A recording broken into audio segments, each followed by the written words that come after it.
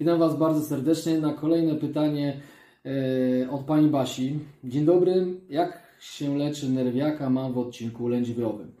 E, to również odsyłam do filmiku o nerwiakach, nerwiakowo-włókniakach w, od- w, w obrębie kręgosłupa, który jakiś czas temu nagrałem.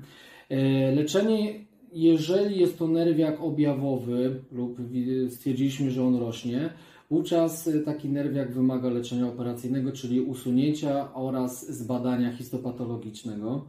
E, Nerwiaki, które są bezobjawowe, czyli stwierdzone przypadkowo, np. w rezonansie magnetycznym, wymagają przede wszystkim obserwacji, ale jednak w większości nerwiaki e, rosną, są to nowotwory, więc wymagają usunięcia.